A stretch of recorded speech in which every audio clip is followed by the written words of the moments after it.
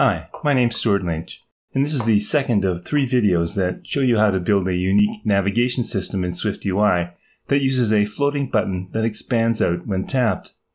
If you haven't already watched the first video, please go back and follow along. If not, I have a link in the project notes for a starter project that starts right here. In the previous video, we created our main menu or our selected menu button. Now it's time to build our other menus and spread them out when the button is tapped. Now each item is going to have its own color and its own SF symbol and its own view associated with it.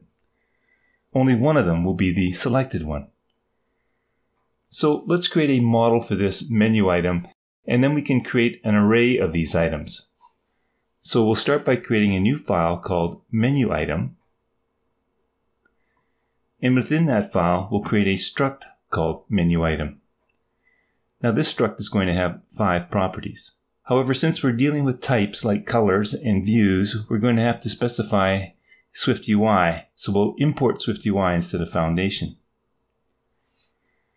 Our first property will be a unique ID, as we need to identify which menu item will be tapped.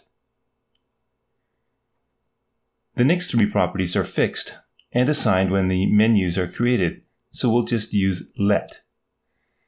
These are for color, which is a color view, icon, which is a string representing the name of the SF symbol, and menu view. Now the menu view is a view that will be presented in the background when the menu is selected. Since this can be any kind of view, we will have to make sure we specify this as any view.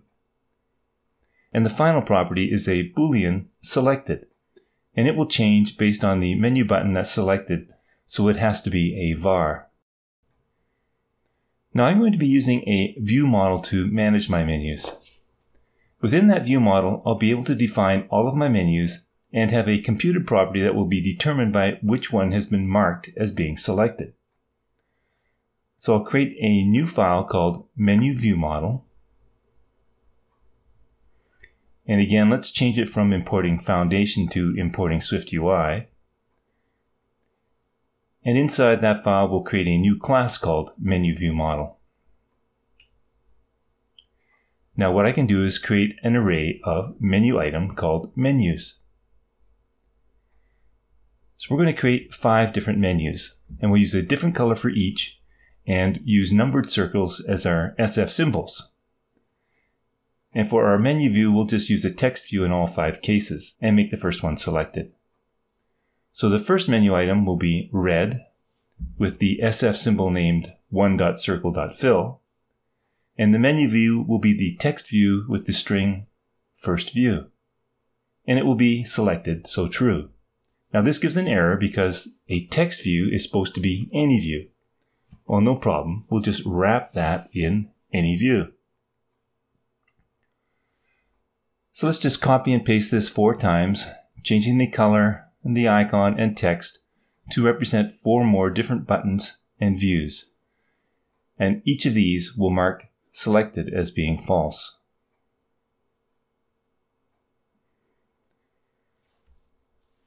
Now we can create a computed property that will be the selected menu. And I can do this by filtering our array on selected and choosing the first one. Now there needs to be at least one.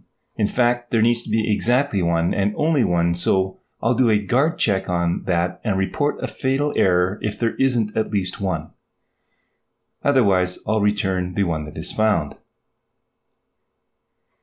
Now this gives us a warning on our filter function advising us to wrap the body with parentheses. So let's just let Xcode fix that for me. I'll go back to menu button now and replace our selected menu button's fixed values with a menu item. So first we'll declare menu item as a menu item. And now we can replace our color and icon with the property values for menu item. So fill with menu item.color and our image icon becomes menu item.icon. This will of course break our content view because when we present the selected menu button, we're not initializing this menu item. what we can do is create an instance of our view model, and then our argument for a menu item will be our view model's selected menu. So we need to retrieve that from our view model, but this will change as our user taps on one of the menus. So before we create that instance of our view model, let's return to our view model file first and make sure that we can observe those changes. And we do this by making our view model an observable object. And then we need to publish our array of menus so that each time selected is changed on any one of them, it will notify any instance of the view model that is observing this change. So back now in content view, we'll create our instance as an observed object. And now that we have that instance, we have access to the selected menu property that we can use to initialize our selected menu button. If we resume our canvas now, we see the red selected number one button being displayed. Going into preview mode, we see that it still functions as designed. There is one thing I'm going to change though before I finish this video off. Notice when I tap the button, it drops back down again. And it looks okay on the iPhone 8 or the new SE, but not really on the iPhone 11. It goes down too far. And the way I solve this is by introducing a Y offset to our selected menu button when it's activated to bring it back up. I'm only going to bring it up by 10, but it's really important to test on all devices to make sure things look good. Now when we tap on our button, we want to make sure that we fan out our menus that will be placed behind the selected one. So initially, all other remaining buttons are going to be placed directly behind this button, the selected button.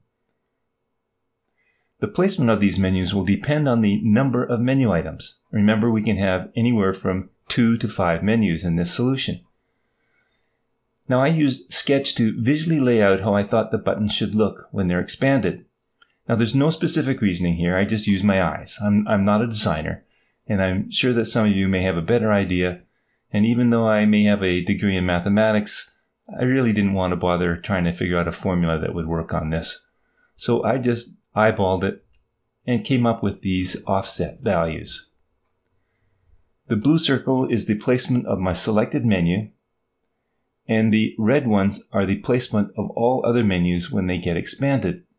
When the menu circles are initially laid out, they'll have that same offset of 0 minus 20, and they'll have a slightly smaller frame. But when the blue button is tapped, they'll fan out with the same spring animation to the layout that you'll see here. What we need to do is create a function that will return the x and y offset values corresponding to the index of the menu item in the menus array. And the items will always be laid out in a clockwise direction from 1 to 5 as indexed in our menus array. And that's what we'll do in the next video when we finish off this project. I have lots of other videos available and in the queue as well, so please check out the rest of my channel. You can also visit my website to see the apps that I have available on the App Store, and visit my GitHub page to see what I have available as public repositories. If you like what you've seen, give it a thumbs up and subscribe to my channel. And ring the bell to get notified when I post new videos. I'm most active on Twitter, so please follow me there as well to find out what else I'm up to. Thanks for watching.